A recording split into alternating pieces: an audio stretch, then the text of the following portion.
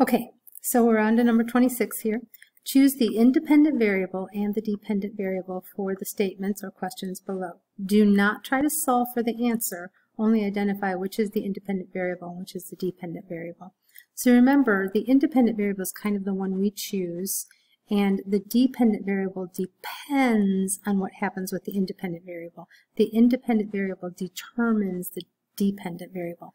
I like to think of the independent variable like I'm free to choose, I'm free to do the number I want to, I'm free to stay at my resort as many days as I want to, or rent my car as many days as I want to, and that determines my um, cost. So the dependent variable depends on the independent variable. All right, so here we go. Ryan pays $200 per night to stay at a hotel near the beach. Find Ryan's total cost to stay near the beach on his vacation. Again, we're not solving, we're just um, choosing the independent variable and the dependent variable. You had a drop-down menu here that had the two variables, and you should have chosen for your independent variable where was the number of days Ryan stayed. So the number of days he stays at this hotel is going to determine his total cost. So his total cost is the dependent variable, and the number of days that he stays is the independent variable. This amount depends on or is generated by that the number of days that he stays. So this is the independent variable. Ryan gets to choose the number of days he wants to stay, and then our total cost depends on how many days he stays. All right, 27, very similar. It says, um, again, we're not working it out, we're just choosing the independent variable and dependent variable. So the number of bowling pins knocked down determines my score from my game. And so my independent variable is going to be the pins that I knock down, and my dependent variable is the score of my game. So independent variable here, dependent variable here. My score, which mine is usually not very much at all, is determined by how many pins are knocked down.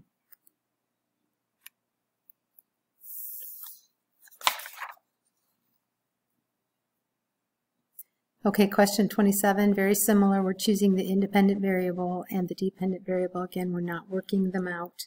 So Luke plays video games at the arcade. Each game costs 50 cents. How much does he spend? So we know that every time he plays a game, he has to spend 50 cents. He gets to choose how many games he wants to play. That's our independent variable. And then how much he, he spends, that is determined or depends on how many games he plays. So this is our dependent variable.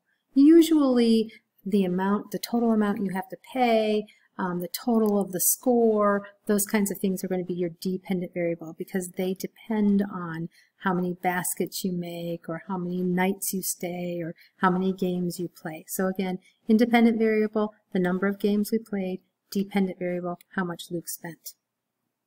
All right, question 29 says the point V is 3, negative 4, um, and it's reflected over the, we want to reflect it over the x-axis. What is the coordinates of the new point? So some of you struggled with this a little bit in the practice, and really guys, you're just taking this point, and since it says over the x-axis, and we've highlighted that in red for you, you're going to move it up the same number of spaces away from the x-axis. So this is 1, 2, 3, 4. So on this same line, I'm going to move it up 1, 2, 3, 4. This is the point V, and we usually call that V prime now.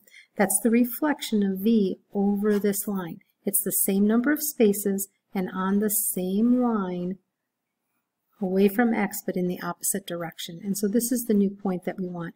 And so this is 1, 2, 3. Our x is 3.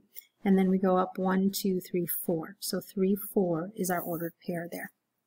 So the reflection of V is 3, 4. Okay, we're getting close here. So again, we're going to reflect point R, which currently is 4, 5, but this time across the y-axis. So in other words, we want to be on the other side of this axis, the y-axis. Again, it's highlighted in red for you there. And so instead of being 4 units away to the left, we want to be 4 units away on this line to the right. So this is 1, 2, 3, 4 in that direction. We want to go 1, 2, 3, 4 in the opposite direction on the same line and away from y. And so we're going to tell what that point is. So that goes over 1, 2, 3, 4, and up 1, 2, 3, 4, 5. And so that new point is going to be uh, 4, 5. And this actually is R is negative 4, 5. And again, I will correct that before you see the quiz, the practice quiz. So yeah, so our new point should have been 4, 5. We would have chosen 4, 5 there. All right, last one, and that's an extra credit option.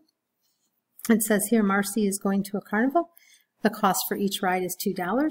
Write an equation with two variables to show the relationship between the, that should be the, number of carnival rides she goes on. That should be she. Hmm, changed my words around, didn't I? And so the number of rides she goes on will be R, and the total amount she spends is going to be S. And again, that will be corrected when you see your practice quiz. Okay, so the independent variable. So we've got to figure this out. Our dependent variable is going to be the total amount she spends, right? That's our dependent variable. That's always the dependent variable. The total score, the total amount she spends, okay? And what determines the total amount she spends? Well, that's going to be the number of carnival rides she goes on, right? So this is going to be our independent variable. How many carnival rides I go on, that's my independent variable. Now the equation, these are tough. The equation's tough, but we want the total amount that she spends for S. And then we know that that's going to depend on the number of rides she goes on. But remember, each ride costs are $2. So we have to multiply 2 times R. So you can write that 2 equals, or S equals 2R, or you can use a little um, multiplication symbol if you want to. It was like this uh, on your drop-down box here. All right, guys, um, please message us with any questions you have. Please make sure you go over this. If you didn't do well on the practice the first time, do it again. You can do it as many times as you want to until you're really comfortable with it. But everything you see on this practice quiz is going to show up on the actual um, test as well. It's not a quiz, it's a test. Um, so let us know if you need anything. We're here for you.